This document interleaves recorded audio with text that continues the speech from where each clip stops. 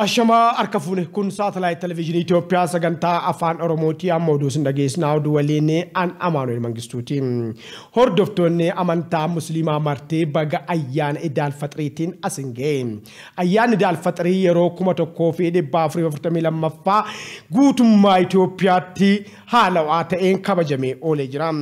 Ayyaanni Idaal Faxirii waggaa kuma tokkoo fi dhibba afurii afurtamii lammaffaan sirna ho'aa ta'ee fi istaadiyoomii magaalaa Finfinneetti kabajamee oolee jira. Dabalatu kana akka ta'u darba.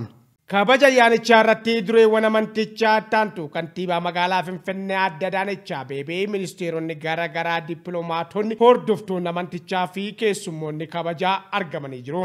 Sirnicha irratti kan argaman pirezidaantiin mana maree dhimmoota islaamummaa Itoophiyaa muftii Haji Umar Idriisii ergaa dabarsanii guyyaa har'aa hawaasni musliimaa jaalalaa fi tokkummaan dabarsuu qaba jedhanii jiru. Maatii fira hollaariyaa fi kan rakkatee gammachiisuun kabajuun dhumarras eebba argachuudha jedhanii jiru. Ayyaanni Idiil Faxirii bara kanaa wayita kabajnu jaalala tokkummaa walii yaaduu fi wal gargaaruun duudhaa hafuura amantichaa caalmaatti babal'isuu ta'uu qabas jedhanii jiru. Dhaaromsaas ni xumurraa diina keenyas ni injifanna jedhan muftii Haji Umar.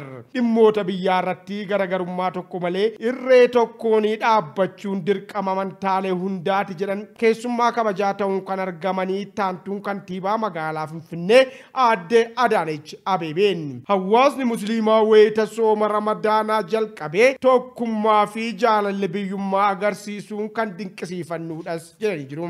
Qaama kamiyyuu osoo hin miinee dhimmoota faayidaa biyyaalessaa irratti tokkummaan dhaabbachuun dirqama lammiilee biyya tokkootis jedhanii jiru.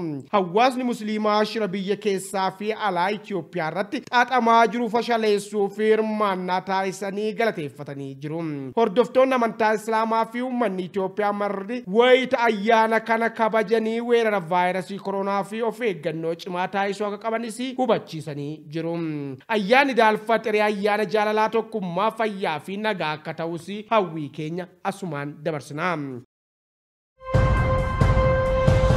Itoophiyaan yeroo ammaa dhimma hidhaa haaromsaa fi filannoo gara dura keenyaa dhufaa jiru wal qabatee qormaata guddaa keessa akka jirtu muummeen ministeera Itoophiyaa kan ta'an Dr. Abiy Ahmad ibsanii jiru. Dabalasuu kana akka ta'u darba. Muummeen ministeeraa Dr. Abiy Ahmad ayyaana Idaal Faxirii waggaa kuma tokkoo fi dhibba afurii afurtamii lammaffaa sababeeffachuun ergaa dabarsan irratti akka ibsanitti haalli Itoophiyaa yeroo ammaa keessa jirtu dhuunfaaf osoo hin taane waloo fi akka yaadnu kan nu dirqisiisudha. Faayidaa dhuunfaa keenyaa ol nageenyi waloo keenyaa akka yaadnu nu dirqisiisas jedhee jiru.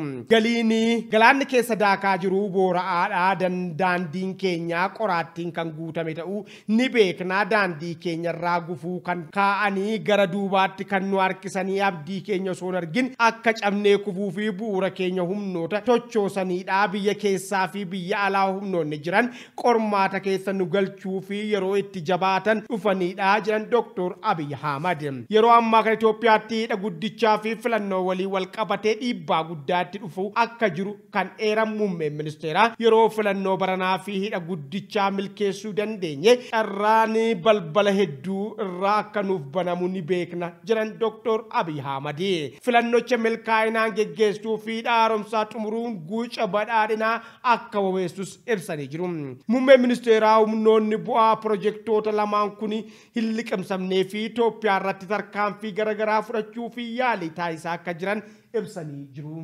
Haleellaan irratti raawwatamaa jiru kan qolachuu irratti lammiileen fageessanii yaadan biyya keessaa fi biyya hambaa jiran waltajjii garaagaraa irratti gootummaa guddaa bahaa jirus jedhanii jiru. Itoophiyaan hundi gocha akkanaa yoo raawwattanii dawwaa rakkoo biyyattii bara dheeraa kan ta'e humna horachuu akka danda'amu nan amanas jedhanii jiru. Muummeen ministeeraa ergaa baga ayyaana Idaal Faxirii waggaa kuma tokkoof dhibba afurii afurtamii lammaffaan isin ga'es jechuun dabarsaniiru. Gabiraan immoo muummeen ministeeraa Ifeedirii Dr. Abiy Ahmad godaan Baabiluluu Habashii daawwatanii jiru. Godaan Baabiluluu Habashii seenaa fi hambaa musliimota Itoophiyaa kan beeksuudhas jedhamee jira.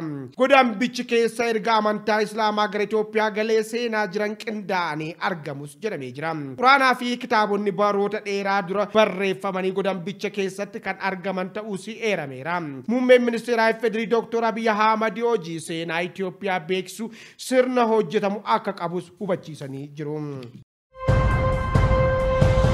Ifedirii Saalawarqi Zawudeen hawaasa musliimaa uummata Itoophiyaa maraa fi ergaa baga ayyaana idaal faxirii waggaa kuma tokkoo fi dhibba afurii afurtamii lammaffaan geessan jedhu dabarsanii jiru.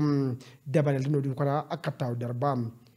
Hawaasni musliimaa ayyaanicha wayita kabajuu waan qabu walii qooduun lammiilee sababoota garaagaraa rakkoof saaxilaman deeggaruu fi tokkummaan kabajuu akka qabu gaafataniiru. Ayyaanni daalfaxirii waggaa kuma tokkoo fi dhibba afurii afurtamii lammaffaan ayyaana nagaa jaalalaa gammachuu tokkummaa fi fayyaa akka ta'us ergaa fuula tiwiitarii isaanii irratti barreessaniin beeksanii jiru. Musliimaa fi kiristaanni seenaa Itoophiyaa keessatti walii yaaduu fi wal kabajuu malee wal jibbuun hin beekaman jedhan miseensi mana maree ulaamaa dhimmoota islaamummaa fi itti gaafatamaan damee araaraa fi nageenyaa Sheek Muhammad Siraaj dabalatu kana akka taa'u darbaa.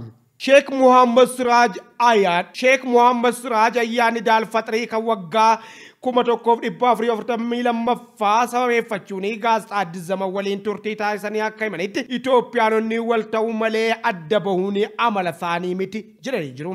Namoonni aangoo karaa qaxxaamuraa barbaadan garuu darbee darbee walitti nu buusuun yaaluu isaanii fi hin milkaa'u milkaa'e hin beeku jedhanii jiru.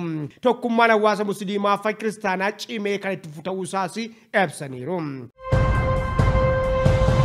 Biyya Indiitti lubbuun namoota hedduu darbuu fi sababa kan ta'e sanyiin COVID-19 haaraan biyya keenyaa keessatti babal'achaa akka jiru ibsamee jira.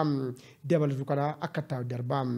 Biyya keenyaatti namoonni haaraan kudha shan vaayirasii koronaan haaraan qabamuu isaanii mirkanaa'uu isaa wal qabatee hanga ammaatti namoonni diddama vaayirasii kanaanii qabamuu isaanii ministeerri fayyaa keeniyaa kan ta'anii Dr. Raashid Amaan beeksisanii jiru.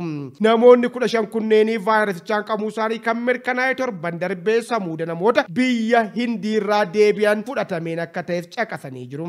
Qorannoo vaayirasii haaraa kanarratti geggeeffamu akka agarsiisutti vaayirasii vaayirasoota biroo irraa haatattamaa namaan daddarbuu ni danda'a jedhu baruu fi qorannoon dabalataa akka barbaachisus ibsaniiru. Vaayirasiin kun keeniyaatti dabalataan biyyoota Afrikaa torbanitti tatamsa'uusaas BBC'n gabaasee jira. Vaayirasiin koronaa haaraan indiitti mul'atee jedhamu kun dhaabbata fayyaa idilee addunyaa yaaddessaa jedhamu farrajamuusaas gabaafamee jira. Egaa kabajamtoota hordoftoota keenyaa oduu keenya xumurree jirraa qophiilee isaa tafanii waliin turtii gaarii.